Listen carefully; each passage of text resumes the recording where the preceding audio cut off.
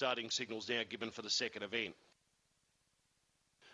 They're being loaded away. Our favourite box to Aston Cleo. Best back Memory Lass. Green light is on. Lures on its way. They're ready to jump for the second event. Set. Racing now, Blazing Kiara the inside, fast away. Memory Lass showed good speed. Chenko Girl deeper on the track, and Aston Cleo burrowing up through along the inside. A big gap away to Y So Chenko Girl off the back led the way a length.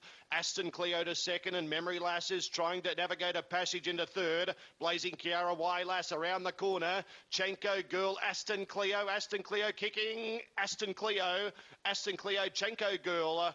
Memory Lass third over the line, was close up. Then came Lass, Blazing Kiara at around 23.50.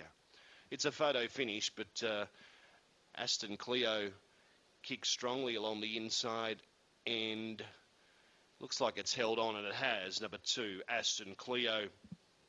So numbers are going into the frame here. Two defeats seven. So two Aston Cleo defeats seven Chenko Girl.